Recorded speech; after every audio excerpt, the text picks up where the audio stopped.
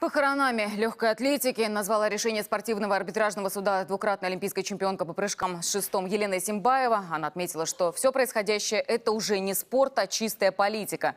Симбаева в Швейцарии пыталась лично отстоять свое право участвовать в играх в Бразилии, ведь именно для этого после декрета она вернулась в большой спорт. Но доказать свою правоту Елене не удалось. Как заявили во Всероссийской Федерации легкой атлетики, теперь она пойдет в суд общей юрисдикции.